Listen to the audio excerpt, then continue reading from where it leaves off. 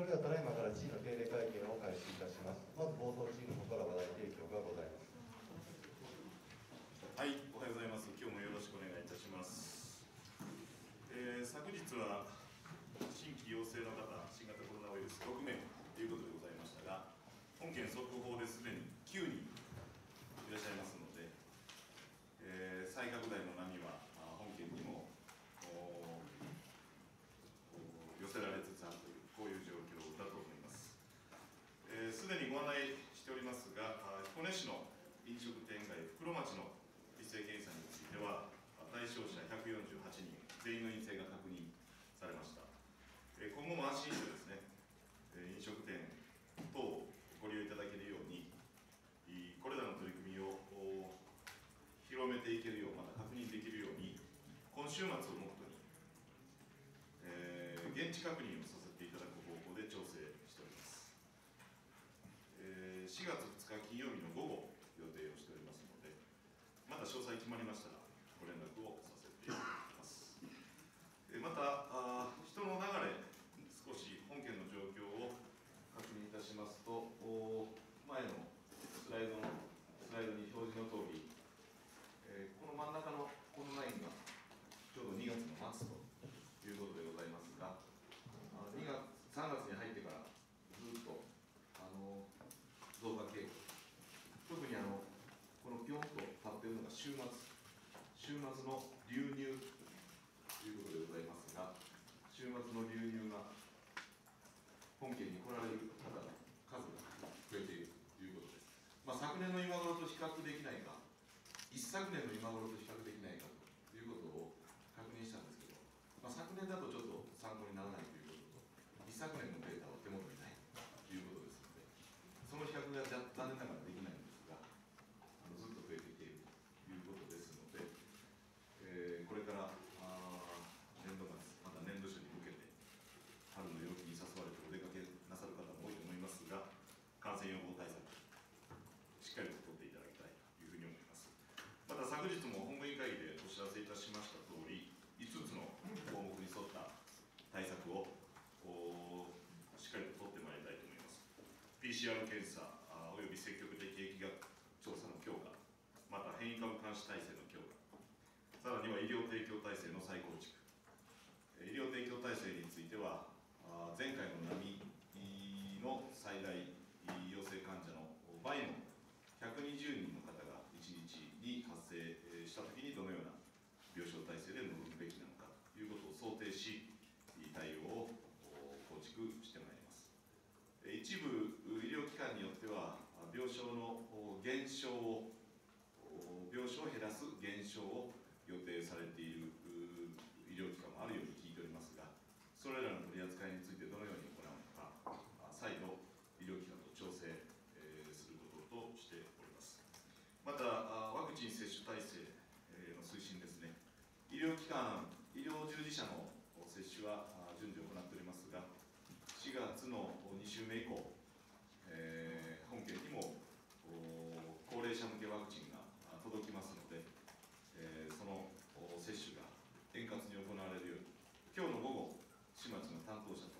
お会議が行われるようですので、詳細確認もしてまいりたいと考えております。また5つ目といたしましては、感染リスクを下げながら、会食をするルールと確認項目と皆様方にお知らせいたしましたので、ぜひこういったことが現場においてしっかりと徹底されるように呼びかけ、また確認をしてまいりたいと思います。え今日は話題提供3点、資料に基づいて、申し上げたいと思います。まず1点目は、次世代を支援する取り組みの推進ということでございます。えー生まれてくる子どもの数が減ってきている、またこのコロナ禍で、より減るのではないか、結婚届も妊娠届も減少しているという、こういう状況でございます。あの来年度、最も力を入れていく取り組みといたしまして、次世代の支援というものを考えているところでございます。えー来年度、滋賀で生まれた子どもやそのご家族へのおめでとう、ありがとうの思いをお届ける滋賀で誕生ありがとう事業を実施することといたします。具体的には、県や市長の子育て支援情報や協賛企業のお祝い品など社会全体で出産子育てを応援しているというメッセージをお届けするとともにですね社会で応援する機運を高めていきたいと考えておりますこの事業には企業や地域県民の皆様のご協力を得ながらやっていきたいみんなで力を合わせて生まれてくる子どもをお祝いし応援したいと考えておりますので、えーぜひこの事業へのお力添えをお願いしたいと考えております、えー詳細は資料に記載の通りでございます。えーまた今年度策定いたしました子どもの笑顔を増やすための新しい行動様式スマイルアクションにつきましてもさらに取り組みの輪を広げていきたいえー子どもたちのことは子どもたちと一緒に考えるというこういう哲学のもとですね。さまざまな実践の輪を広げていきたいと思っております。さらに2月にはスマイルアクション宣言登録制度を開始いたしまして趣旨にご賛同いただきました日野町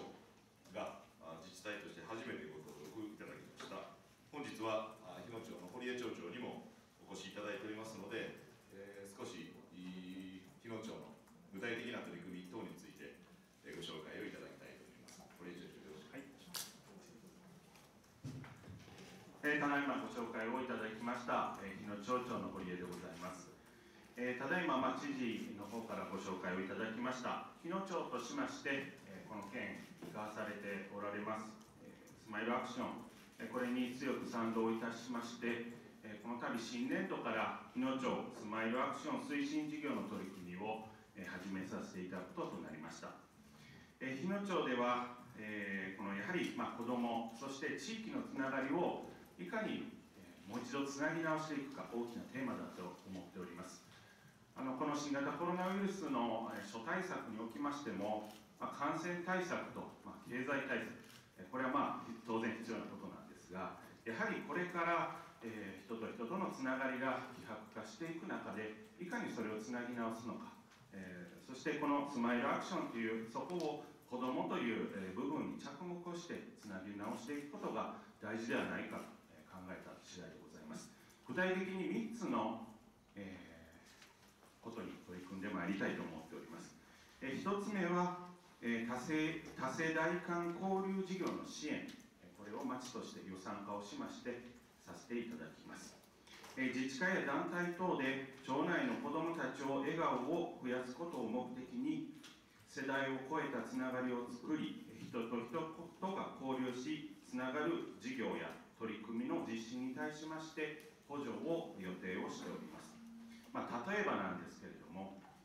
えー今地域の、まあ、自治会や団体、えーそれぞれ、えーイベントや行事すべて、まあ、中止また自粛という状況にございますが例えばそういった中で、えー感染対策がしっかり、えーなされた上でですね、えー屋外で、えー花の鉢植えを、えー例えば、えーするような、えー取り組みとか、えそういったものを、え今までであればもう自粛自粛しない方向性だったんですが町が一定の呼び水となるような補助の制度を作りましてですね、えそういった、え子どもや、えお年寄りいるあらゆる世代の方を含めたイベントを実施していただけるような補助をまず1点目に考えております。え、2つ目としましては企業等との、コラボレーションの取り組みをしていきたいと思っています。その第1弾としまして、e デザイン損保株式会社様がですね実施されました逆公募プロポーザル事業というものがありまして、日野町から応募させていただいて、採択をいただきました。具体的に、はですね町内の未就学児に対しまして安全に楽しく自転車に乗ることができるようキックバイクを使った自転車体験イベントを町内すべての保育園幼稚園認定こども園で実施をさせていただく予定をしております。そして最後3点目でございます。えーこれは積極的な広報啓発と情報発信をしてまいります。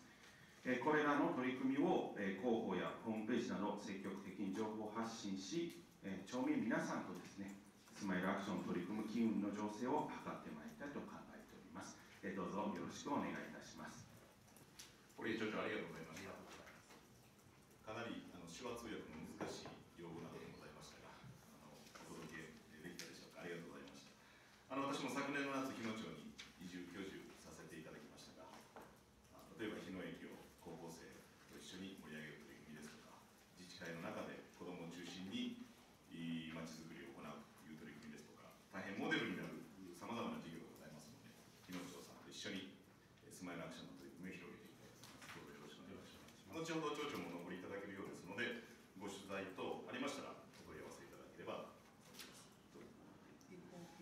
されますのであそうですよろしければ二人で写真撮っていただけますかどこでこちらでお願いします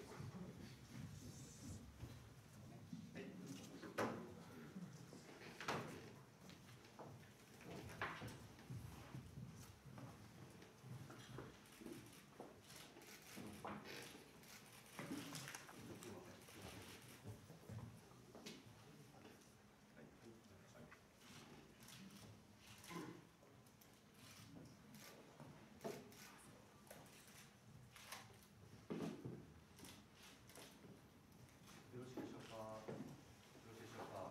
はい、ありがとうございます。ありがとうございますじゃあ一旦退出されますので。はい、じゃあ、あの一度離席をされるようでございますので、えー続いての話題提供は、こちらも資料がございますが、あー県の支援事業から生まれました、琵琶湖の水草で開発された商品のご紹介ということでございます。県では、夏場に大量に繁茂をすることで、悪臭や船舶の航行障害を引き起こす水草を刈り取りまして、資源として循環利用していく取り組みを進めております平成28年度から水草等対策技術開発支援事業をスタート企業や大学等による水草対策の技術開発や新たな有効利用の仕組みづくりを支援してまいりました。今年度は有限会社新規比較様株式会社コードバン様が琵琶湖の水草でブラックバスの皮を染めて財布などの革製品を販売されることとなりました。その商品がこちらのウィード大コレクションこれそちらにあの並べてある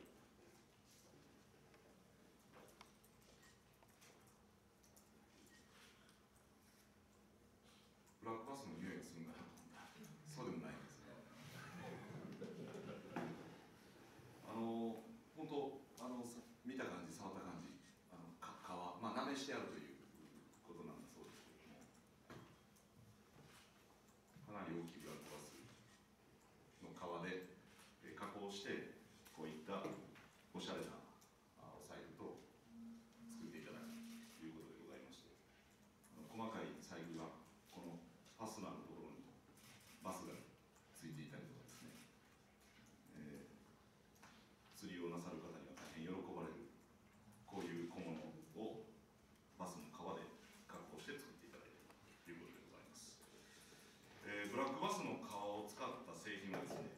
平成29年から製作販売されてえーおられますが今回は WEF 技術開発株式会社様の加工した琵琶湖の水草で染めたこれ琵琶湖の水草で染められている新新色ということでございます。4月29日木曜日から大阪梅田のイーマにある店舗と湖南市の株式会社ローグスで、えー販売をスタートされます。なお本日は有限会社新規比較の専務取締役で株式会社コードバンの代表取締役の新田様あ新田様あのこちらそして WEF 技術開発株式会社代表取締役の青山さんこちらお越しいただいておりますお越しいただいておりましてえーこの会見終了後も残っていただき詳細は後ほどぜひ詳しくえーごしご取材をいただければと思いますえーこのウィードダイコレクションのようにですねまあ、ある意味ではあまり余計いてもらうと困るなといううーうー厄介者であるうー琵琶湖の水草ですとか釣る人は嬉しいんでしょうけど在来種が食べられて困るものもありますのでこういうブラックバスに新たな価値が見出されて、え地域資源として有効利用されることをさらに期待し応援していきたいと考えております。え最後3点目はですね、えーこれからまたあ雨があ多く降るうー春からあ夏にかけて秋にかけてというこういう季節になりますえ流域治水の取り組みのうちソフト対策について2点情報提供させていただきますまず1たなあ指定ということでございます。えー前にもお一部地図をお示ししておりますし、お手元の資料の中にも詳細な地図を入れておりますが、本日、長浜市木之本町石道と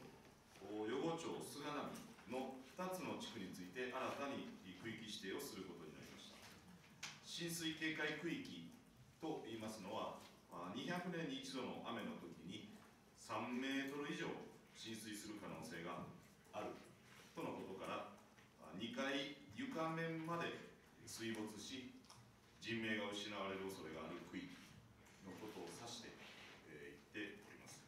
区域に指定することで、建築を一定制限し、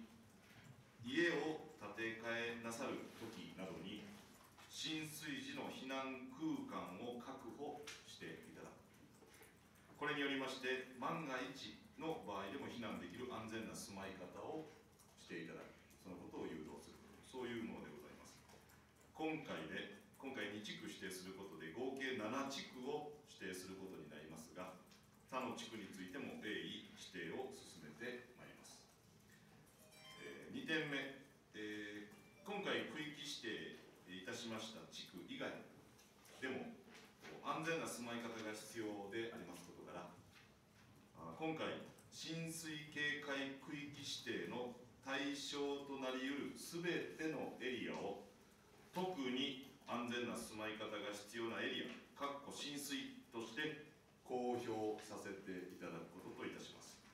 関係の皆様におかれてはこのエリアにおいては浸水リスクに対する検討ですとか相談が特に必要な区域であることを今一度認識していただきどのような洪水であっても命を守るための取り組みを実践していただきますようお願いをいたします。あの宅建業者の方々とも共有をしお取引等にもお役立ていただくということといたします。県といたしましてもしっかりと支援しえどのような雨が降っても安全な住まい方への誘導が図られるよう引き続き取り組みを行ってまいりたいと思いますので、えーぜひご報道とお力添えとよろしくお願い申し上げます私からは以上でございますはい、それでは質問の方に入らせていただきます。管理者、通信さんよろしくお願いします。G 通信の小島と申します、えー新型コロナの関係なんですけれども、昨日あの大阪府の吉村知事が、あの特措法の特措法に基づきます、改正特措法に基づきます、まん延防止措置のです、ね、要請について表明されました。これに対する受け止めと、まあ、滋賀県はまだそれほど増えてないのかもが、要請する必要があるのかどうかというところをまずお伺いします。まずあの大阪府知事のそういったあーご見解、ご表明というものはあー大阪府域においてえー感染再拡大が起こってきているというこういう状況でえーあるとえー受け止めております大阪府とお滋賀県は人の行き来さまざまなあーあー交流ですねこういったことも盛んですので昨日も申し上げたようにいこういう状況を受けて本県もこの波があー来つつある、えー及びつつあるという認識を持って、えー緊張感を持って対応していきたいまた次の波にしっかりと備えていきたいと考えておりますまたあのこのまん延防止等重点措置というのは先般の法改正で新たに設けられたあの措置でございまして緊急事態の宣言に至る前段階でえー適用されるものであると承知をしてえーおります現在の本県の状況はそういったあー措置を行うまたそのことを国にい要請えーする段階にはないと思っておりますがあーこういった措置も当然念頭に入れながらあ今後の対応をしっかりと考えていかなければならないと思います昨日も発表されましたが、その中で医療提供体制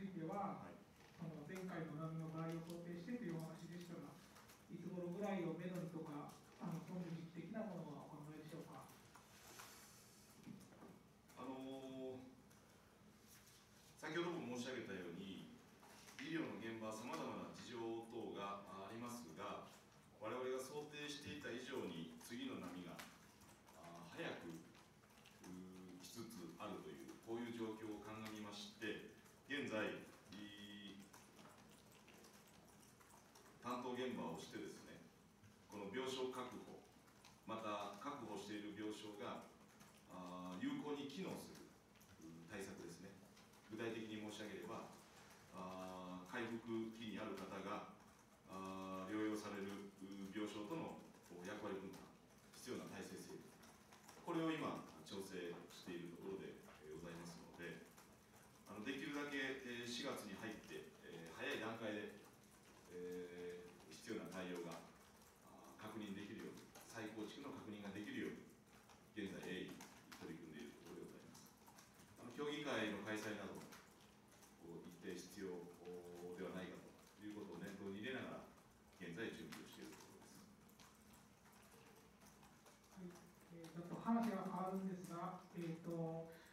月ですね、まあ、ちょっと再拡大の状況はちょっと分かりませんが、県内も聖火リレーが予定されております。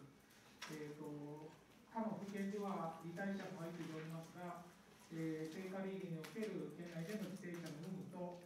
えーまあ、最近もちょっと密集するというような問題も生じておりますが、県としましても密集防止対策についてお考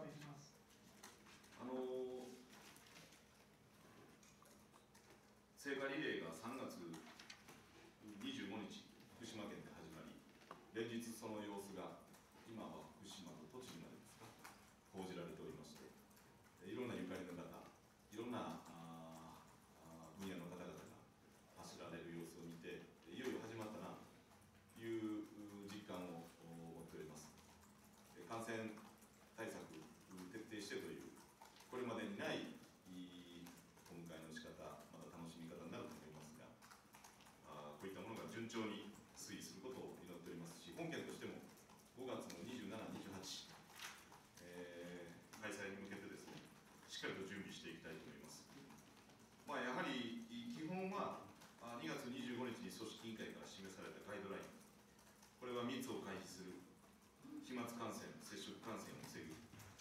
He's all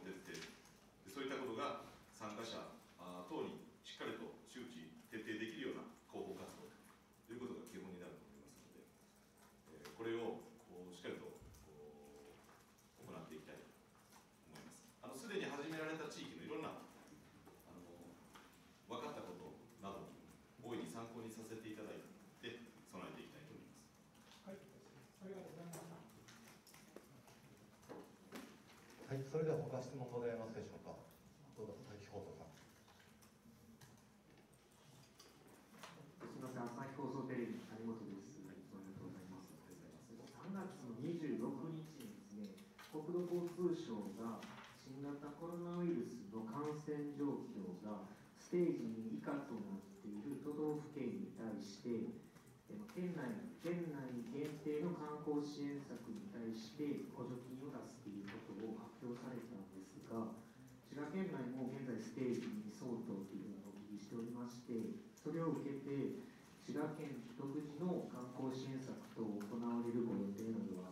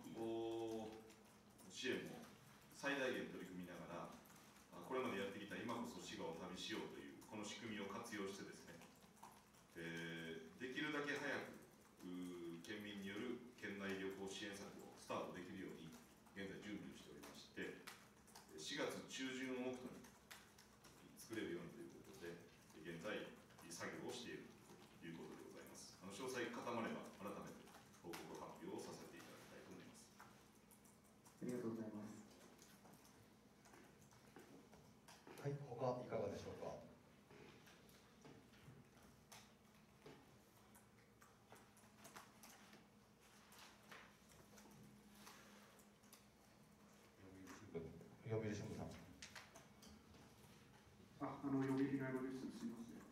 の先ほどまん延防止措置の関連で、大阪府が要請をして、国がまん延防止措置をするとなった折に、えー、と滋賀県への往来等々で、何か制限を設けられる予定はございますでしょうか。まずあのこのまん延防止等重点措置をどのような範囲で、えーかけようとなさるのかということにもよると思いますね。このまん延防止等重点措置はあ都道府県単位だけじゃなくて地域を限定できるということでありますとか、えー休業要請まではあ想定されていないんですが時短要請、えーをかけてえーその命令違反への過料等も創設されているということですので、そういったどのような措置が行われるのかっていうものを見た上で、本件の対応を考えていく必要があると思っております。えー先ほどの質問にあったあの観光の支援の事業ですが、4月中旬をめどにということですが、具体的にどのような形をお考えなんでしょうか、滋賀を旅しようのあのを再びやるようなイメージなんでしょうか？あの基本はですね、えーこれまでやってきた今こそ滋賀を旅しようというう私たち県民が県内のお宿泊施設と観光施設とお訪問し余暇レジャーを楽しむということが基本になると思いますがあのそういった国の補助がどういう仕組み条件を許すのか許さないのかまたこれこの間やってきた取り組みの中でさらに付け加えるべき項目があるのかどうか現在今検討作業を行っているところですあのせっかくやるんですのでやるものですのでより良いものができるようにしたいと思います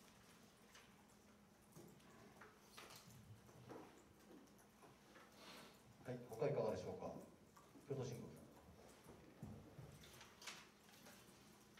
すみません、あの話が変わって恐縮なんですが、えーっと、一個話題提供いただいたあの、えー、新設想定区域のですね、公表についてなんですけれども、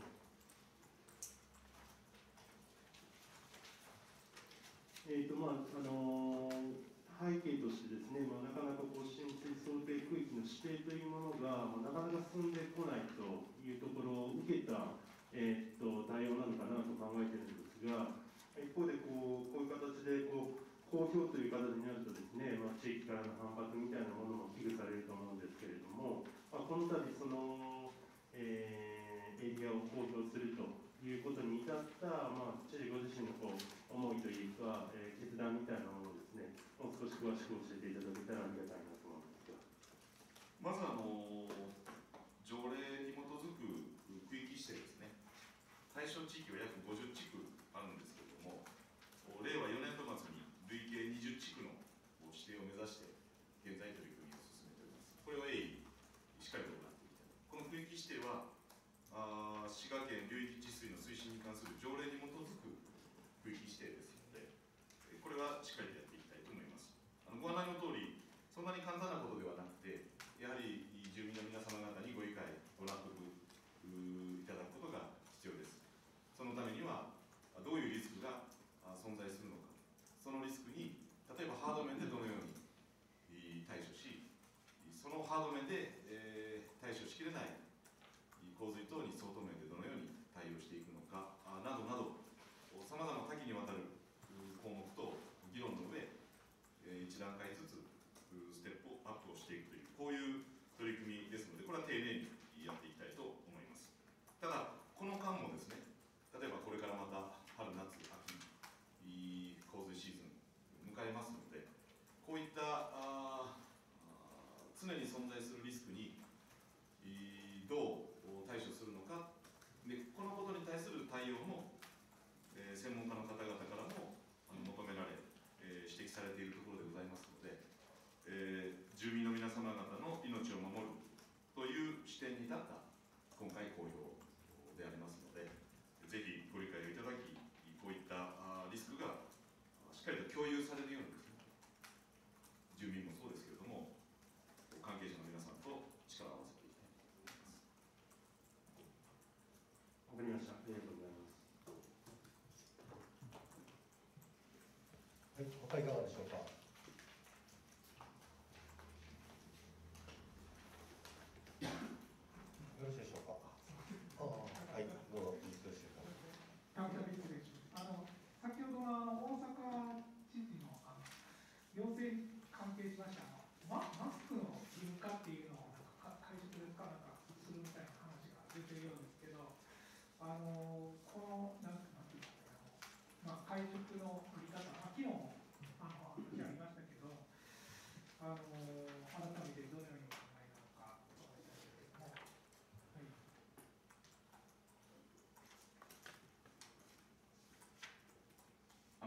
配職につきましては昨日も申し上げたように、えー、どのようなことに気をつけてやって、えー、くださいということについては申し上げあそうですはい。あのー、会話をするときはマスクをそして距離も取りながらということを申し上げております、え、改めてそういったことをしっかりと、えー、メッセージとして発信しそれぞれの現場において徹底していただく。いうことをまず基本にしたいと思います。何か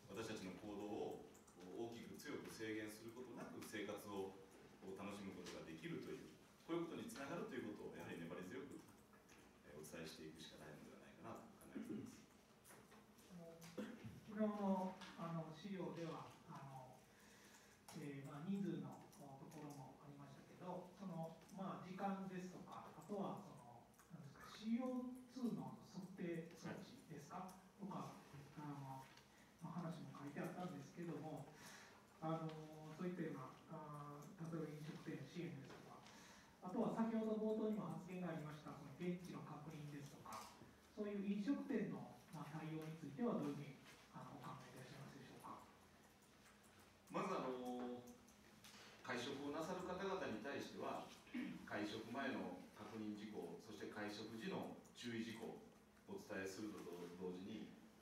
ここはちょっと抜粋しておりますので表記表示しておりませんけれどもあの本通のチラシの方には短時間というような項目も入れさせていただいております。で必ずしも4人以内ということではなくて、まあ、大きな会場で1択あたり4人ずつでと十分距離を取りながらという楽しみ方についてもあのお知らせをさせていただいておりますし特にお店につきましては入店時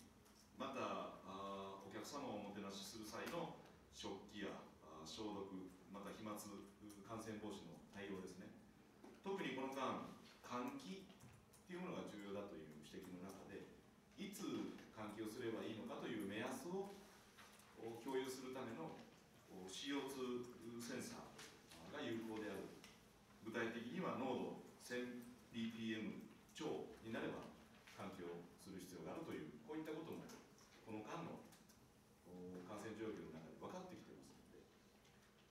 腰メーめた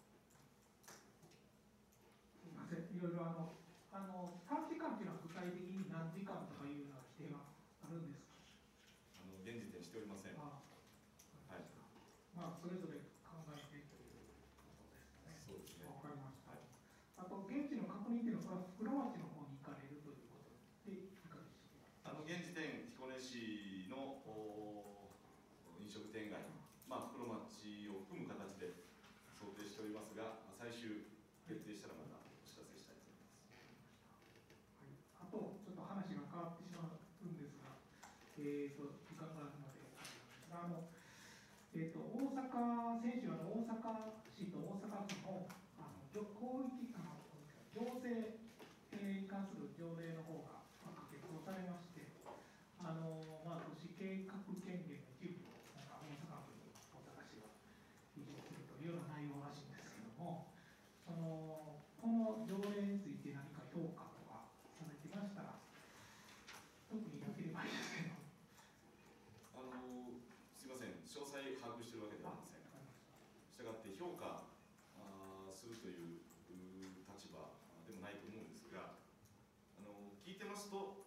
年の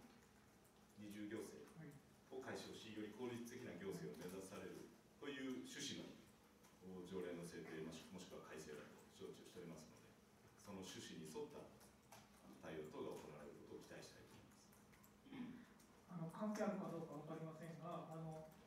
えーと、感染症対策においては滋賀県の場合は保健所については大津市が守っているということがありまして他は県が守ってるんですけどそういった部分では特 constitución se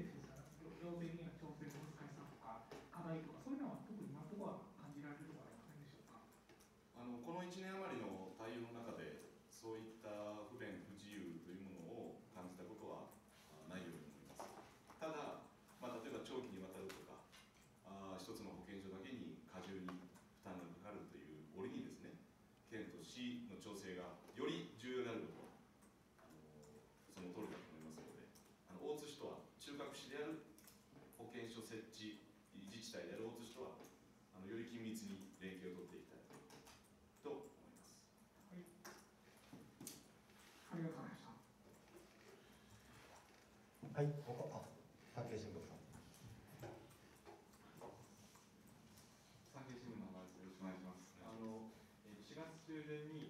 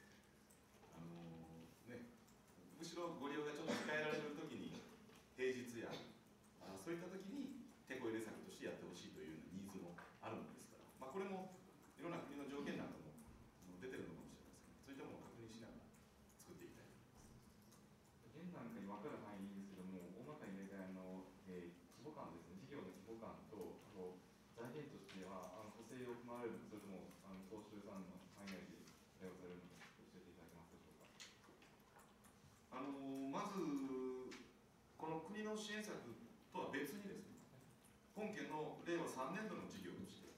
今こそ滋賀を旅しよう宿泊キャンペーン事業といたしまして